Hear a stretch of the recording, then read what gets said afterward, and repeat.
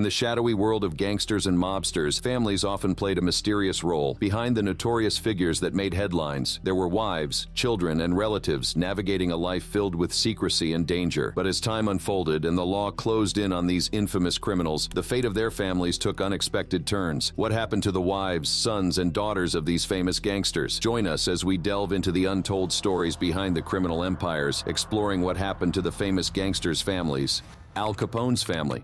Al Capone, the infamous gangster of the 1920s, is a name that still echoes through the annals of crime. But what happened to his family after his death? As we delve into the story of Al Capone's family, we cannot overlook the life of his only son, Albert Francis Sonny Capone Jr. Born on December 4, 1918, Sonny entered the world just months before his father's rise to power in Chicago. Growing up in the shadow of his notorious father was no easy task, and Sonny faced numerous challenges throughout his life. After the death of his father, Sonny made a conscious effort to distance himself from Al Capone's legacy, he chose to remain in Florida, where he worked various odd jobs to make a living. Seeking a quieter life, Sonny eventually relocated to California. However, his journey was not without its share of troubles. In 1965, Sonny found himself on the wrong side of the law when he was convicted of stealing aspirin and batteries. Despite this minor offense, Sonny was never involved in organized crime like his father. In fact, he made a significant decision in 1966 to legally change his name to Albert Francis Brown, severing all ties to the Capone name. Sonny's life took another unexpected turn in 1968 when he made headlines for threatening to kill Edward Kennedy. However, this incident was an isolated event, and Sonny's criminal record remained relatively minor. He lived out the rest of his days in California, away from the spotlight, until his passing on July 8, 2004, at the age of 85. While Al Capone's son Sonny sought to distance himself from his father's legacy, we must also explore the fate of Al Capone's wife, May Capone, and the rest of his family after his death. May Capone, portrayed by Linda Cardellini in the film Capone, largely stayed out of the public eye following Al's passing. After Al Capone's death on January 25,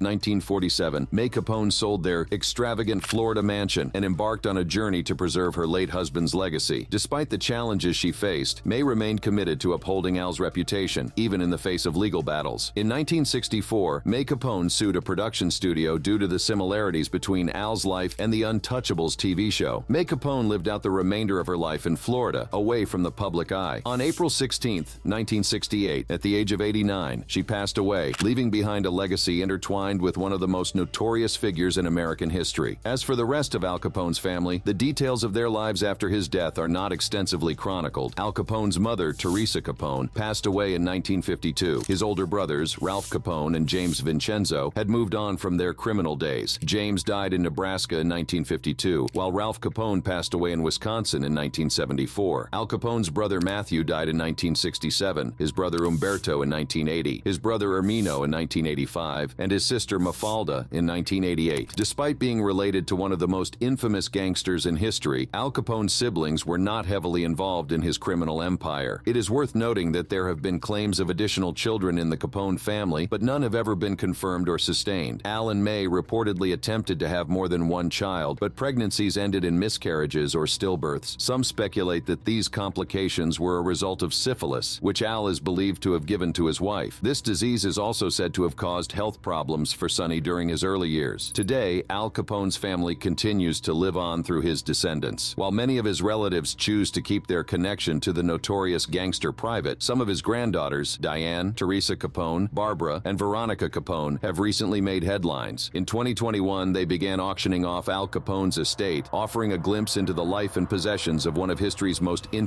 figures, the Bonanno family.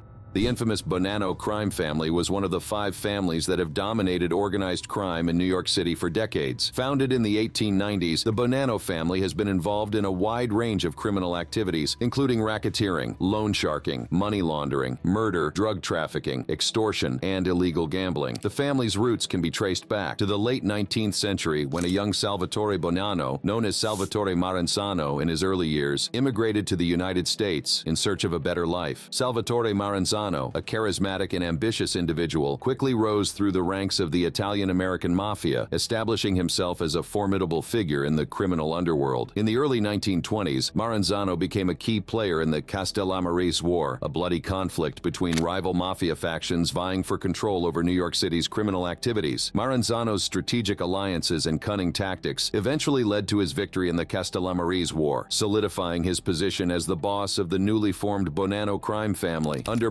Maranzano's leadership, the family expanded its operations, engaging in various criminal activities such as bootlegging during the Prohibition era. However, Maranzano's reign was short-lived. In 1931, he was assassinated as part of a power struggle within the mafia, known as the Night of the Sicilian Vespers. This event marked a turning point in the history of the Bonanno family as it led to the rise of Joseph Bonanno, Salvatore Maranzano's trusted lieutenant as the new boss. Joseph Bonanno, often referred to as Joe Bananas, was a charismatic and shrewd leader who would go on to shape the future of the Bonanno crime family. During the 1950s and 1960s, the Bonanno family experienced a period of relative stability and prosperity. They expanded their criminal empire, establishing connections with politicians, law enforcement, and even high-ranking officials. This allowed them to operate with relative impunity, further solidifying their power and influence. However, the Bonanno family was not without its internal conflicts and power struggles. In the 1960s, a faction within the family led by Joseph Bonanno's cousin, Stefano Magaddino, attempted to overthrow Bonanno and take control of the family. This internal strife, known as the Banana War, resulted in violence and bloodshed within the family's ranks. Despite the internal conflicts, the Bonanno family managed to weather the storm and regain its strength. Under the leadership of Joseph Bonanno, the family continued to thrive, expanding its criminal activities and maintaining its dominance in the New York City underworld. In the 1970s, the Bonanno family faced another significant challenge with the infiltration of their ranks by FBI agent Joseph Pistone, also known as Donnie Brasco. Pistone spent years undercover, gathering evidence and building cases against the family's members. His infiltration led to the expulsion of the Bonanno family from the Commission, the governing body of the mafia families in New York City. The 1980s and 1990s were marked by a series of convictions and arrests of high-ranking members of the Bonanno family. The family faced numerous legal challenges, with several members and associates being convicted and sentenced to prison. These convictions, coupled with the turning of Joseph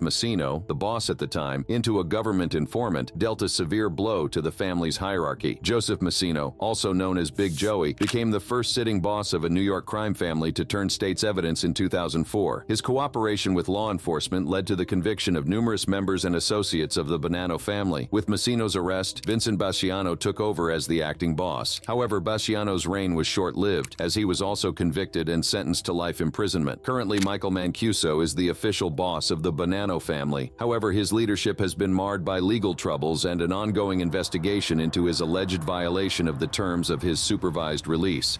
The Colombo family, Next up is the Colombo crime family, one of the five families. It all began in 1928 when a Sicilian-born mobster named Joe Profaci formed a bootlegging gang in Brooklyn. Profaci, a cunning and ambitious man, quickly established himself as a force to be reckoned with in the criminal underworld. During the Prohibition era, Profaci's bootlegging operation thrived, allowing him to amass significant wealth and power. He expanded into lucrative ventures like gambling, loan sharking, and extortion, solidifying his influence in the criminal underworld. Seeking legitimacy, Profaci aimed to portray himself as a respected businessman and community leader. He used his ill-gotten gains for charitable endeavors while secretly continuing criminal activities, maintaining a dual identity. Profaci governed the family with strict authority, demanding loyalty and obedience. His inner circle, including brother-in-law Salvatore Sally Mangano and caporegime Joseph Magliocco, formed the core of the Profaci crime family. Throughout the 1930s and 1940s, the family expanded its criminal empire, dominating illegal illegal gambling, protection rackets, and labor, racketeering. However, challenges arose in the late 1950s when Caporegime Joe Gallo, also known as Crazy Joe, rebelled against Profaci's leadership. Gallo, a charismatic and ambitious mobster, initiated a conflict that escalated into a full-blown war within the family. The first internal war within the Colombo family was marked by a wave of violence and bloodshed. Members of both factions lost their lives as the power struggle intensified. The war eventually came to an end when Profaci brokered a peace peace agreement with Gallo, allowing him to retain control over the family. However, the peace was short-lived. In the 1970s, Gallo was released from prison, and tensions within the family reignited. The Second Internal War erupted, fueled by personal rivalries and disagreements over the family's direction. The conflict reached its peak in 1971 when Joseph Colombo, the boss of the family at the time, was shot and severely injured during an Italian-American Unity Day rally. Colombo's shooting marked a turning point in the family's history. Following Colombo's shooting, the family experienced a period of instability and power struggles. Various factions vied for control, leading to further violence and bloodshed. The internal conflicts weakened the family and made it vulnerable to law enforcement scrutiny. In 1991, the Colombo family was once again plunged into a violent and deadly war. Acting boss Victor Orena attempted to seize power from imprisoned boss Carmine Persico. The war, known as the Third Colombo War, was marked by a series of bombings, shootings, and assassinations. Twelve members of the Colombo family lost their lives during this brutal conflict, leaving the family severely weakened. Despite the internal conflicts and power struggles, the Colombo crime family has managed to survive and adapt. In recent years, the Colombo crime family has been hit hard by legal proceedings, impacting its operations significantly. One notable conviction involved Michael Catapano, a former acting captain. In 2016, he received a 6.5-year prison sentence for extorting gambling clubs and drug trafficking, dealing a blow to the family's lucrative criminal enterprises. Joseph Baudanza, a former Colombo family capo, faced legal consequences for stock fraud. Released in 2011, his conviction shed light on the family's involvement in white-collar crimes. Thomas Tommy Shots Gioeli, a former capo and street boss, was a feared figure involved in racketeering and murders. Currently incarcerated, he is expected to be released in 2024. Vincent Chicky DeMartino, a soldier in the family, faced weapons charges, murder conspiracy, and attempted murder. Serving his sentence, he is slated for release in 2025. The Colombo crime family continues to grapple with the repercussions of these convictions, affecting its overall strength and influence. Today, the Colombo crime family is considered the weakest of the five families. It has faced significant challenges from law enforcement and internal divisions. However, it still maintains a presence in the criminal underworld, engaging in various criminal activities such as racketeering, extortion, and drug trafficking.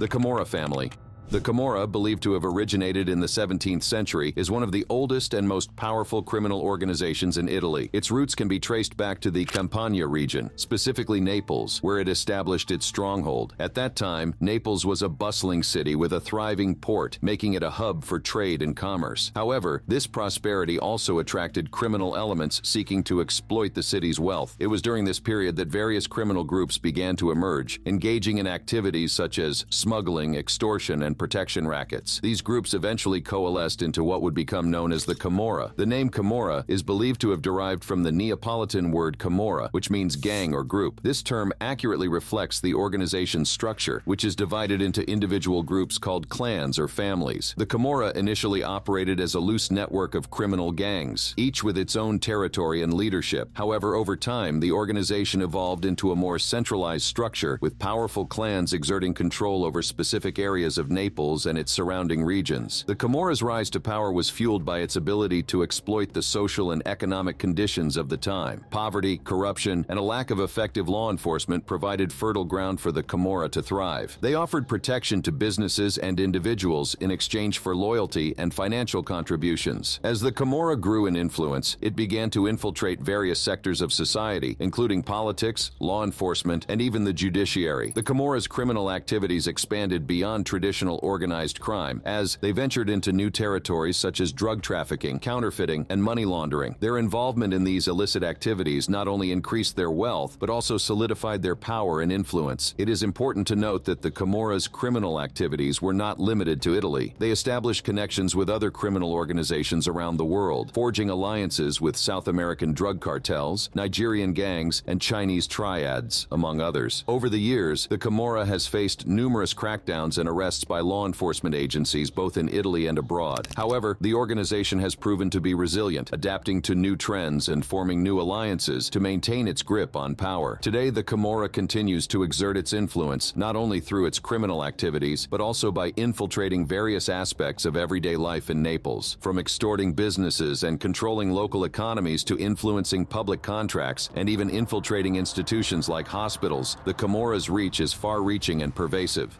the Gambino family. For decades, the five families ruled over all of New York City, establishing their dominance through fear, violence, and a web of criminal enterprises. The Gambino crime family, one of the most powerful and influential of the five families, emerged as a force to be reckoned with in the early 20th century. The roots of the Gambino family can be traced back to the Castellamarese War, a bloody conflict that erupted among rival Italian-American mafia factions in the 1930s. It was during this turbulent time that Salvatore Toto d'Aquila, a prominent mobster, formed what would later become known as the Gambino crime family. Under the leadership of Carlo Gambino, the family experienced a meteoric rise to power. Carlo Gambino, a Sicilian-born mobster, took control of the family in 1957 after the assassination of Albert Anastasia, the previous boss. Gambino was a shrewd and calculating leader who understood the importance of alliances and strategic partnerships. One of the key alliances that propelled the Gambino family to prominence was their partnership with Meyer Lansky, a Jewish-American mobster and financial mastermind. Together, Gambino and Lansky controlled gambling interests in Cuba, which provided a steady stream of revenue and expanded the family's influence. During the 1960s and 1970s, the Gambino family solidified its power and became a dominant force in the New York City underworld. They controlled various criminal enterprises, including illegal gambling, loan sharking, labor racketeering, and drug trafficking. Their reach extended beyond New York City, with operations in Long Island, New Jersey, and even international territories. But it wasn't wasn't just their criminal activities that made the Gambino family notorious. They also became modern-day celebrities, capturing the attention of the media and the public. One of the most infamous figures in the family's history was John Gotti, also known as the Dapper Don or the Teflon Don. Gotti's flamboyant personality and high-profile criminal activities made him a household name. In the 1980s, Gotti rose to power within the Gambino family, eventually becoming the boss. He embraced the limelight, wearing expensive designer suits and mingling with celebrities. Gotti's brazen brazen attitude and willingness to flaunt his power made him a tabloid sensation. He even graced the cover of Time magazine, with Andy Warhol creating a striking portrait of the mafia on trial. But the rise to power of the Gambino family would eventually be followed by a fall. In 1970, the Racketeer Influenced and Corrupt Organizations Act, RICO, was introduced, giving law enforcement a powerful tool to combat organized crime. Federal and state authorities, along with politicians, embarked on a major crackdown on the mafia, viewing it as a personal legacy of their careers. The Gambino family, like other mafia organizations, faced numerous convictions and prosecutions. The Teflon Don himself, John Gotti, was brought to justice after multiple unsuccessful attempts. In 1992, his underboss, Salvatore Sammy the Bull Gravano, cooperated with the FBI, providing crucial information that led to Gotti's downfall. By the late 1990s, the power and influence of the five families had significantly diminished. The mafia appeared to retreat back into the shadows of New York's underbelly. The flashy suits, magazine covers, and A-list friends were replaced by a more low-key existence. However, the myth that the mob is long gone is just that, a myth. In 2023, federal prosecutors in New York announced a major operation targeting the Gambino crime family. 16 members and associates were arrested, facing charges under the RICO Act. The indictment outlined a web of violent extortions, assaults, arson, witness retaliation, and other crimes allegedly committed by the accused mobsters. The arrests marked one of the most significant mafia busts in recent times. While the alleged mobsters may not have the fame and notoriety of their predecessors, their actions serve as a stark reminder that organized crime still operates in the shadows. The Genovese family.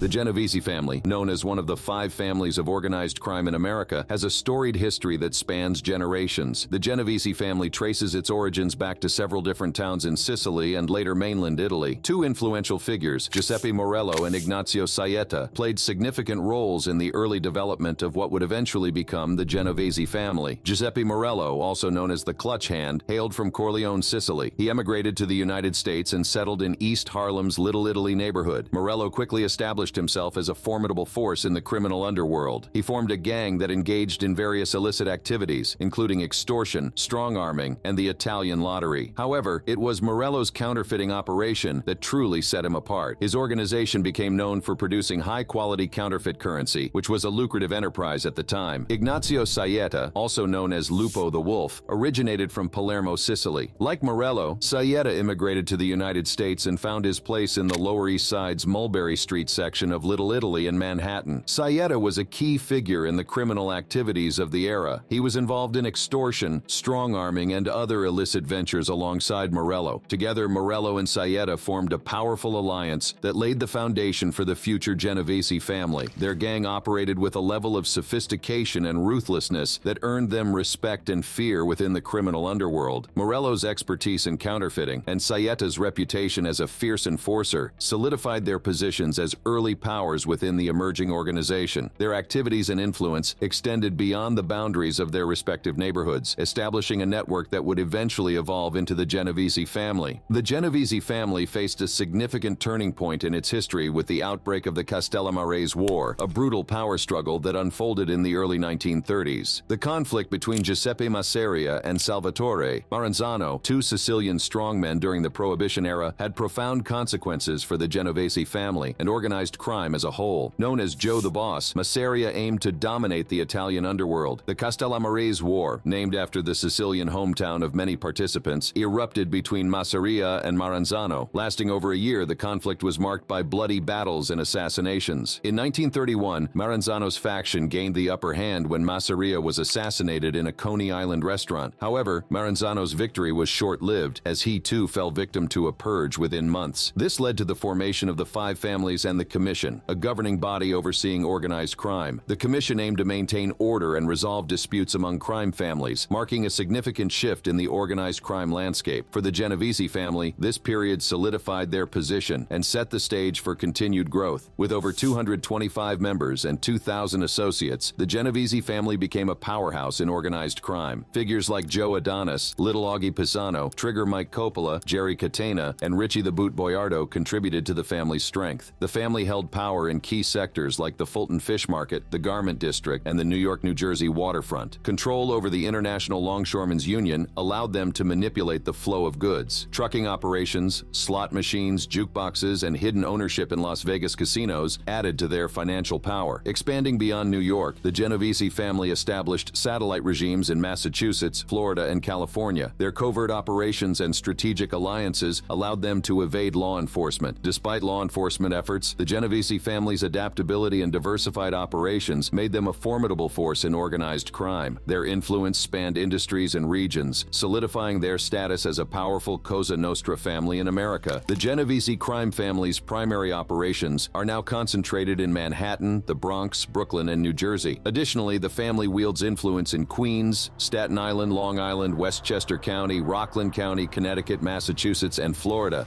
The Lucchese family. The Lucchese crime family has a rich and intriguing history that dates back to the early 20th century. It all began with the Morello Gang, a notorious street gang in East Harlem in the Bronx. Led by the Sicilian-born Giuseppe Morello, the gang laid the foundation for what would later become the Lucchese crime family. Giuseppe Morello was a cunning and ruthless leader who established a criminal empire in the Italian enclave of Harlem. His gang was involved in various illegal activities, including extortion, gambling, and murder. However, it was Gaetano Tommy Reina, a member of the Morello gang, who would eventually form his own family and lay the groundwork for the Lucchese crime family. Tommy Reina focused on controlling the home ice distribution business, a lucrative enterprise at the time. He built a network of loyal associates and established a reputation for being a shrewd and strategic leader. Under Reina's leadership, the family began to expand its influence and power. But tragedy struck in 1930 when Gaetano Reina was brutally murdered, allegedly by members of a rival gang. This event marked a turning point for the Lucchese crime family as Tommy Gagliano took over the reins and became the new boss. Gagliano was a mastermind when it came to staying under the radar. He rarely appeared in public, preferring to operate behind the scenes. This strategy allowed him to avoid unnecessary attention from law enforcement and rival gangs. Gagliano's low-key approach, combined with his business acumen, propelled the Lucchese crime family to new heights. During the 1930s and 1940s, Gagliano and his trusted associate, Tommy Lucchese, led the family into profitable ventures within the clothing and trucking industries. They realized the potential for financial gain in these sectors and capitalized on it. The family's involvement in the garment industry gave them a stronghold in New York City, allowing them to control various crime rackets. While Gagliano preferred to remain in the shadows, Tommy Lucchese became a prominent figure within the family. He was known for his charisma and ability to navigate the criminal underworld with ease. Lucchese's public persona helped solidify the family's reputation and expand their influence. The success of the Lucchese crime family can be attributed to their close-knit close-knit community, fostering loyalty and camaraderie among members. This unity made them formidable in organized crime, operating smoothly and efficiently to establish dominance. However, their growing power and wealth attracted law enforcement attention, leading New York City to take measures against organized crime. In the late 1950s, the family faced a setback when Tommy Gagliano's whereabouts became unknown for two years. During this power vacuum, Tommy Lucchese emerged as the new boss, expanding criminal activities and controlling major unions. Despite their success, challenges arose in the late 1970s with the infamous Lufthansa heist, one of the largest cash robberies in American history. This drew law enforcement attention and ultimately led to their downfall. The reign of Victor Amuso and Anthony Casso in the late 1980s marked a dark chapter for the Lucchese crime family. Unlike their predecessors, they sought dominance through fear and brutality. Their violent acts, including the murder of Bruno Facciolo, signaled a willingness to engage in deadly conflicts. Under Amuso and Casso's leadership, the family experienced a reign of terror marked by ruthless violence, conflicts with other crime families, and eventual downfall at the hands of the FBI. They ordered executions of troublesome or disloyal members, creating a climate of fear and suspicion. Conflicts with the Gambino family turned New York City streets into a battleground for dominance in the criminal underworld. Amuso and Casso's reign came to an end with their FBI capture after years of building a case against the Lucchese crime family. In 1991, their arrest marked the conclusion of their terrorizing era. Facing a life sentence, Casso chose to cooperate with the FBI, divulging family secrets, including the involvement of two NYPD detectives as hitmen and informants for the Lucchese crime family. The arrests of Amuso and Casso, along with Casso's revelations, led to the apprehension of numerous Lucchese crime family members. The family's hierarchy was dismantled, resulting in lengthy prison sentences for many. Despite imprisonment, Amuso continues to wield influence over the family from behind bars. The downfall of Amuso and Casso dealt a significant blow to the Lucchese crime family. Their era of violence and brutality caused internal destruction and betrayal. The once feared organization was left in disarray, with members cooperating with law enforcement and the family's power diminished.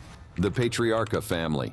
The story of the Patriarca family begins in the early 1900s when two separate mafia families emerged in the cities of Boston and Providence. Gaspar Messina, a cunning and ambitious mobster, rose to power as the boss of the Boston Mafia Group in 1916. Meanwhile, Frank Morelli, a shrewd and ruthless figure, formed the Providence Mafia Group in 1917. These two families operated independently, each with their own criminal enterprises and territories. Over the years, power struggles and alliances shaped the destiny of the Patriarca family family. It was Filippo Buccola, a cunning and strategic leader, who eventually emerged as the boss of the combined family in 1932. Buccola's leadership marked a turning point for the organization as he sought to expand their criminal activities and solidify their presence in New England. However, it was Raymond Patriarca Sr., a name that would become synonymous with the Patriarca family, who would leave an indelible mark on its history. Patriarca Sr. took over as boss in 1954, following the assassination of Buccola. Under his reign, the family experienced unprecedented growth and influence. Raymond Patriarca Sr. was a mastermind known for his strategic thinking and ability to forge powerful alliances. He relocated the family's base of operations to Providence, Rhode Island, a move that would prove pivotal in their rise to power. Patriarca Sr. also formed strong relationships with the New York-based Genovese crime family and the Colombo crime family, solidifying the Patriarca family's position within the national mafia network. With their newfound alliances, the Patriarca family expanded their criminal empire, engaging in a wide range of illicit activities racketeering, gambling, murder, narcotics, waste management, robbery, loan sharking you name it, they were involved in it. Their influence extended far beyond New England, with connections reaching as far as the Chicago outfit and the Bufalino crime family. But the road to power was not without its challenges. The Patriarca family faced relentless law enforcement crackdowns and internal violence. In the 1990s, Frank Salemme assumed the role of boss, but tensions within the family threatened its stability. This period marked a decline in the family's power as several key members were arrested and imprisoned. However, recent years have seen a resurgence of the Patriarca family, with the balance of power shifting back to the Boston faction. Under the leadership of Peter Limone and Carmen DiNunzio, the family has regained its foothold in the region. But make no mistake, law enforcement scrutiny remains a constant threat as authorities continue their relentless pursuit of justice. This was all about the famous gangster families. Thank you for staying with us. If you enjoy our content, our newest videos are just a click away away.